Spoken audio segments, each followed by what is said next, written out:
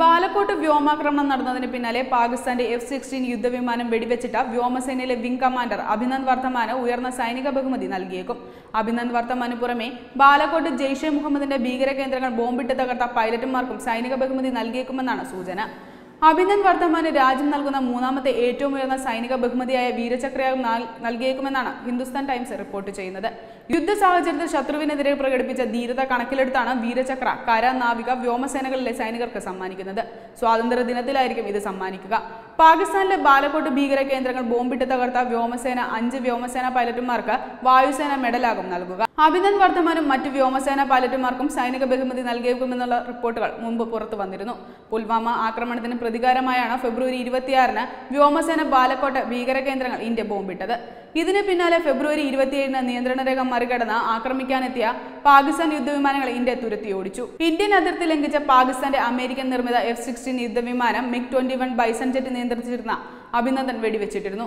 ഇതിന് പിന്നാലെ ഇദ്ദേഹത്തിന്റെ MiG twenty one Bison jet missile ആക്രമണത്തിൽ തകരുകയും അഭിനന്ദൻ പാകിസ്ഥാന്റെ പിടിയിലാവുകയും ചെയ്തു. എന്നാൽ ഇന്ത്യ നിലപാട് കടുപ്പിച്ചതോടെ മാർച്ച് ഒന്നിന് അഭിനന്ദനെ പാകിസ്ഥാൻ ഇന്ത്യയ്ക്ക് കൈമാറി. പാകിസ്ഥാന് തിരിച്ചടി നൽകവേ അഭിനന്ദ് വർദ്ധമാൻ പ്രകടിപ്പിച്ചത് അസാമാന്യ ധൈര്യമായിരുന്നു. യുദ്ധഭൂമിയിൽ ശത്രുക്കൾക്ക് മുന്നിൽ പ്രകടിപ്പിച്ച ആ മനസാന്നിധ്യത്തിന് ബഹുമതി നൽകാൻ തീരുമാനിക്കുകയായിരുന്നു. ഇക്കഴിഞ്ഞ ഫെബ്രുവരി പതിനാലിന് സി ആർ പി എഫ് സേനാംഗങ്ങളുടെ വാഹന വ്യൂഹത്തിന് നേരെ ജമ്മു കാശ്മീരിലെ പുൽവാമ ജില്ലയിൽ ചാവേർ ആക്രമണം ഉണ്ടായതോടെയാണ് ഇന്ത്യ പാകിസ്ഥാൻ സൈനിക സംഘർഷം ആരംഭിച്ചത്. നാൽപ്പത് കേന്ദ്ര റിസർവ് പോലീസ് സേനാംഗങ്ങൾ വീരമൃത്യു വരിച്ചു. ആക്രമിയ സൈന്യം ഉടൻ വധിക്കുകയും ചെയ്തു. പാകിസ്ഥാൻ ആസ്ഥാനമാക്കി പ്രവർത്തിക്കുന്ന മുസ്ലിം തീവ്ര സംഘടനയായ ജെയ്ഷെ മുഹമ്മദാണ് ആക്രമണം നടത്തിയത്. ചാവേറായി വന്ന കാശ്മീരിയായ ആദിൽ അഹമ്മദ് ദാർ ജെയ്ഷെ മുഹമ്മദ് അംഗമായിരുന്നു. ഇതിന് മറുപടി എന്നോണം ഇക്കഴിഞ്ഞ ഫെബ്രുവരി ഇരുപത്തിയാറിന് വ്യത്യസ്ത വ്യോമസേനാ കേന്ദ്രങ്ങളിൽ നിന്ന് പറന്നുയർന്ന ട്വൽവ് മിറാഷ് ടൂ തൗസൻഡ് ജെറ്റുകൾ ഉപയോഗിച്ച് വ്യോമസേന വ്യോമാക്രമണം നടത്തിയിരുന്നു. പാക് അധീന കാശ്മീരിലേക്ക് നിയന്ത്രണ രേഖ കടന്ന് ആയിരം കിലോഗ്രാം ബോംബുകൾ തീവ്രവാദികളുടെ പരിശീലന കേന്ദ്രങ്ങൾ സേന നിക്ഷേപിച്ചു.